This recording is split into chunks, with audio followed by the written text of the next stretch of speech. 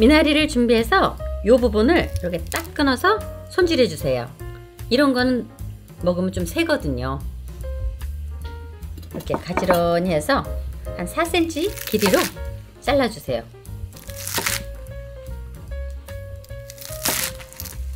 이 물기 쏙 뺀 거예요, 씻어서.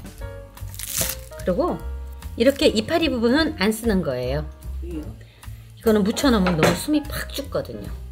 식초를 조금만 해서 물에 타세요.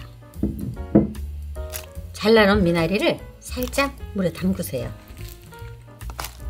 생으로 먹을 거라 식초물에 살짝 담그는 거예요. 이렇게 살짝만 담가놓고 물을 조금만 채 썰 거예요. 조금 넣으면 아삭아삭하고 또 맛있어요. 많이 넣지 말고 조금만.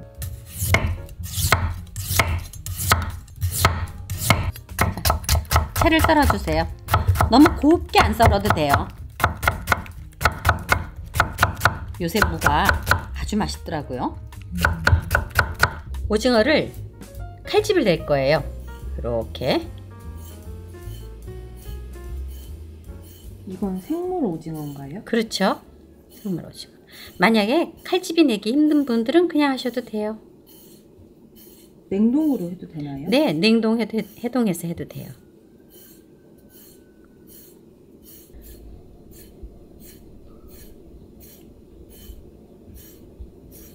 이거는 살짝 살짝 칼 끝으로 해야 돼요. 이제 이렇게 칼집이 이쁘게 났어요. 이걸 끓는 물에 살짝 데쳐 보겠습니다. 물이 막 끓고 있을 때 오징어를 여기다 이렇게 살짝 넣으세요. 정말 살짝만 넣으셔야 돼요. 오래 데치면 질겨져요 오징어가 살짝. 오그러지죠? 이쁘게? 네. 그러면 건지세요. 어? 바로 건지네요? 그럼요. 그런 다음에 또 다리도. 한 번에 안 넣는 이유는 온도가 탁 떨어지잖아요. 그래서 끓어오려면 시간이 걸리니까 제가 다리 따로 몸통 따로 넣는 거예요. 건져주세요. 어, 이것도 진짜 금세하네요. 이래서 식혀주시면 돼요. 미나리를 이렇게 물에서 건지세요. 한 10분 정도 담궈놨죠? 그렇게 많이 오래는 안 담궈놔도 돼요. 잠시만 담궈놓으면 돼요. 오징어를 이제 썰을 거예요. 이렇게 반 잘라갖고 그냥 먹기 좋은 크기로 썰면 돼요.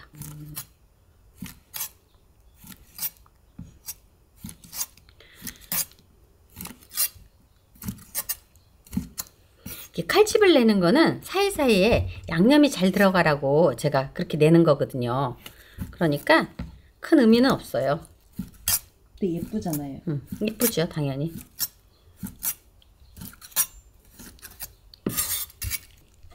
이렇게 하면 다리가 다 분리되죠? 네. 큰 것만 한번 딱 자르고 이렇게 그대로 데쳐놓은 오징어에다가 물을 넣으세요.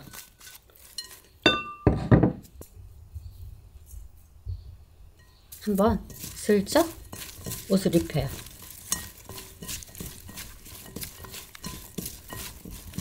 그 다음에 가진 양념에 들어가면 돼요.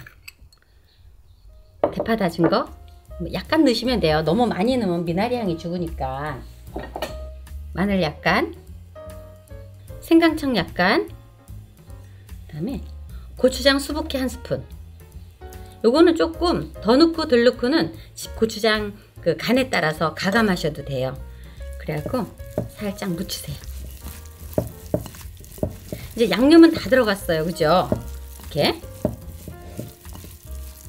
마른 고춧가루가 꼭 들어가야 돼요. 우리가 여기다가 식초를 넣을 거거든요. 설탕 한 스푼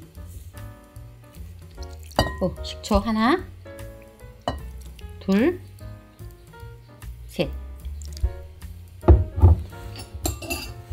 그래서 살살 주물어 보세요. 이때 새콤달콤 해야 되잖아요. 그래서 하나 잡숴보고 간을 본인이 이제 더 넣으면 돼요. 단 게 부족하면 단 걸 좀 더 넣고 식초가 부족하면 식초를 조금 더 넣으셔도 돼요. 물기를 뺀 미나리를 넣어요. 그리고 참깨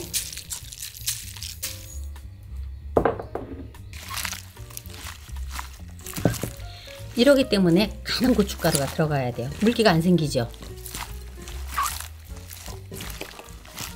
자, 여기에 물엿 한 스푼. 다 된 거예요.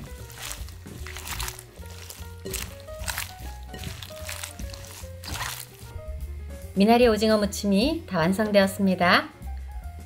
제철 미나리를 이용해서 맛있게 만들어 잡수세요. 시청해주셔서 감사합니다.